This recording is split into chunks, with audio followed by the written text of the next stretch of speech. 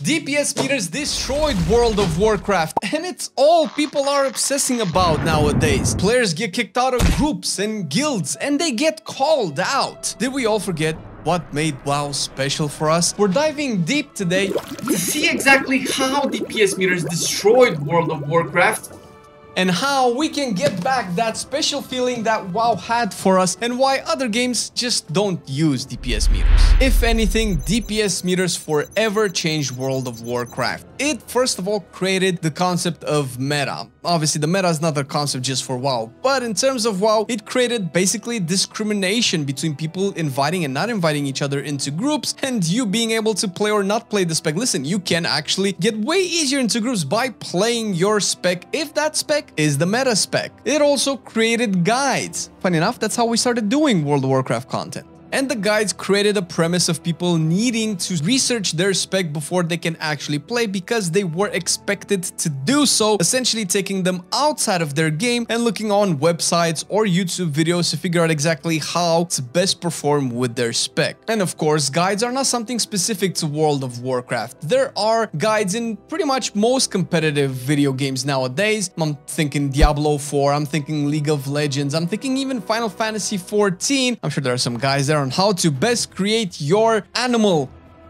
class. I don't know anything about Final Fantasy XIV, but what I do know is that because of the guides, it essentially pushed the devs to create more complex and in-depth specs to kind of counteract the fact that the way to figure out how a spec plays and how to play better has become a little bit more transparent or a little bit easier and took away some of the discovery part that the player used to do to kind of figure out where their spec is and that led us to having more complex specs and button bloat. Yeah, I'm looking at you enhancement shaman. God damn, that's so many buttons, man. Are DPS meters even necessary? Well, in some games such as Lost Ark, DPS meters are bannable and is, that that a good thing? Well, I don't know, but for sure, what I do know is that some games don't have DPS meters period like Diablo 4 and they are still very fun. Unbiased opinion.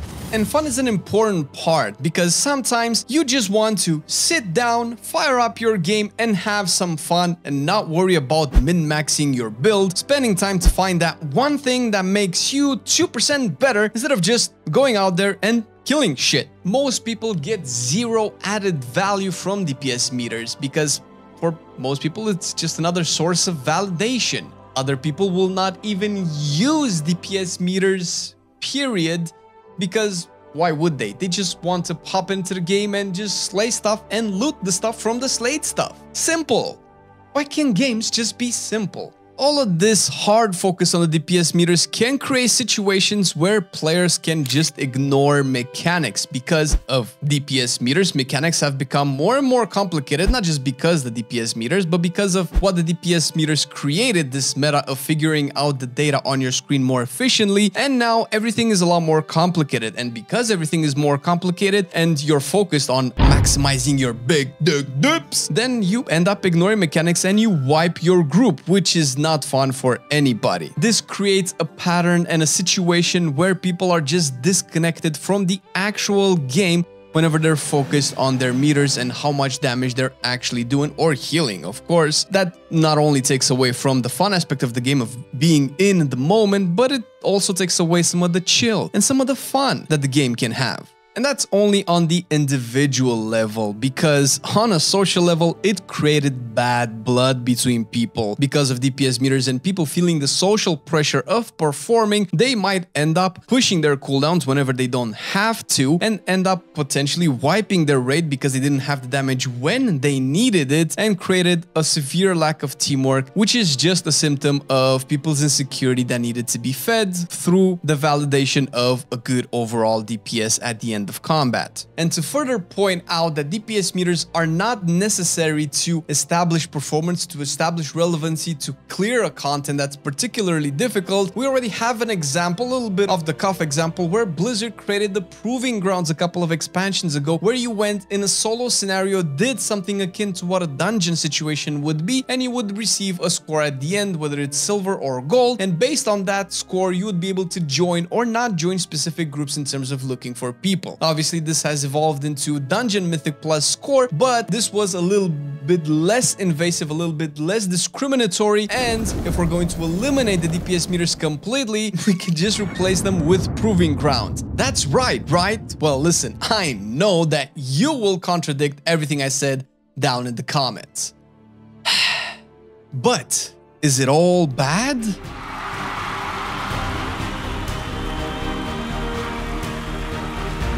There are positives as well to the DPS meters being introduced because it created competitiveness. Because of the DPS meters, we now have proper enraged timers and how to beat boss enraged timers because now we know if the boss has 10 million HP and it gets the enrage in 6 minutes, we know to divide that HP by the time that we have left and we need to kind of figure out what the DPS is to kill the boss before the enrage hits. It also created the concept of obstacles to overcome by having performance being evaluated by a number and of course it does help release some dopamine when you complete that challenge because you had really good performance often showed by the DPS meter. The best rewards and moments in WoW came after crushing content with optimized playstyles that wouldn't have been possible without the concept of DPS meters. I mean, just look at these guys crushing Ragnaros in a speed kill 16, 17, 18 years ago with 33 Frost Mages, a bunch of tanks and healers that's not that necessary. And this would not have been possible without DPS meters kind of telling them, okay, you need this amount of damage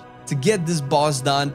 And that's one of the cool things that you can do with the DPS meters. DPS meters help to showcase performance, to measure your skill as a player, which definitely pushes people to progress and improve as individual players every time, because it definitely helps to measure the difficulty of the content, the efficiency of your build. It helps create achievements, competition, stakes, challenges, rewards, and accomplishments. DPS meters also evolve to showcase useful data when it comes to improving, such as the healing done in a dungeon or a raid, the damage taken by the tanks, maybe you took too much much damage maybe you shouldn't have, the number of interrupts, dispels to kind of figure how to deal with the mechanics, and not even all of that, but complex raid interactions like add swaps or damage to bosses, and even buffed damage now with the augmentation spec. And oh, of course, it also allowed for the concept of an augmentation spec to be introduced in WoW because you wouldn't be able to have that without actual DPS meters. So, did the DPS meters destroyed WoW? Ah, that dungeon was fun. You barely did more than the tank. How can your damage be so low? Play Candy Crush. Are you using your talent properly? Why are you even playing this? We almost missed the timer.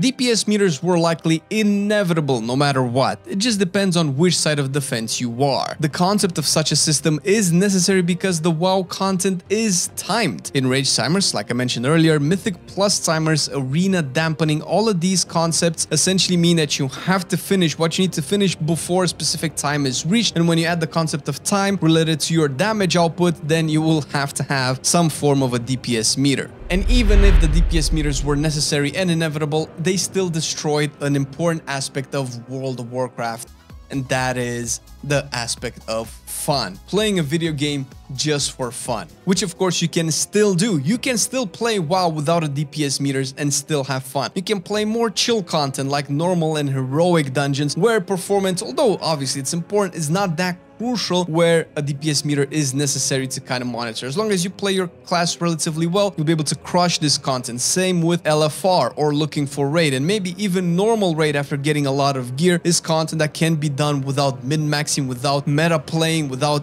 DPS meters, period. Ignore the chat and play how you like. Just don't play high stakes content that's super reliant on optimization where the DPS meters are pretty much expected and your social group will judge you by it. Just have fun. Because people definitely forgot how to have fun and that's just a shame. Sure, Big Damn is really fun for some people, but not always. Enjoying the game and just not getting sucked up into this world is one way to improve your WoW experience and there are more ways to improve your WoW experience and we already cover five of them in this video and I guarantee you that you will feel a lot better about logging into World of Warcraft by watching it.